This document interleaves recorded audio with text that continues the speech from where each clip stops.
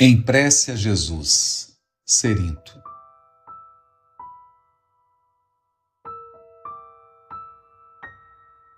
Senhor Jesus, divino condenado sem culpa, enquanto te rememoramos o madeiro de ignomínia, lança tua bênção sobre nós, os que nos enfileiramos junto à rebeldia do mau ladrão Tu que te confiaste a extrema renúncia pelos que padeciam na miséria, não te esqueças daqueles que ainda estendem na terra o sofrimento e a ignorância, a fome e a nudez.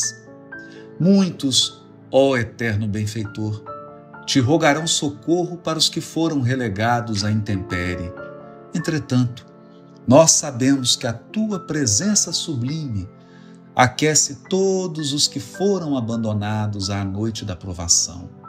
E por isso, rogar-te-emos abrigo para as mãos que erguem templos em tua memória, esquecendo fora das portas os que sofrem de frio. Ah, Senhor, quantos te pedirão pela ovelha estraçalhada longe do aprisco? Nós, no entanto, não desconhecemos que o teu olhar vela poderoso e vigilante, ao pé de todos os vencidos, convertendo-lhes a dor em pão de tua graça nos celeiros da eterna vitória. Suplicar-te-emos assim, abençoes o lobo que se julga triunfante.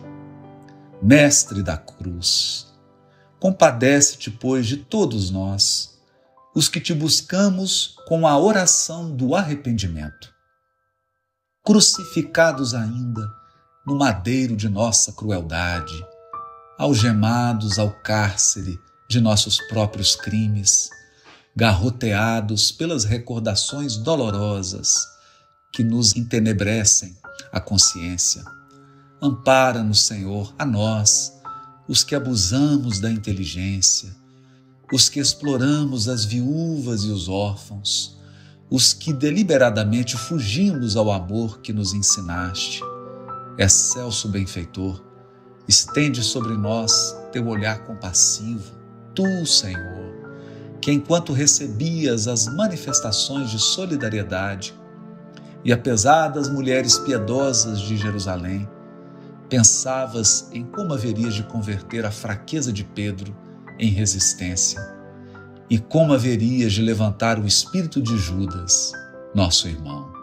Ó Senhor, compadece-te ainda das cruzes que talhamos, das aflições criadas por nós mesmos, e lança do lenho que não merecias o teu olhar de perdão sobre as nossas dores, para que sejamos ainda, hoje como ontem, aliviados por tuas sublimes palavras.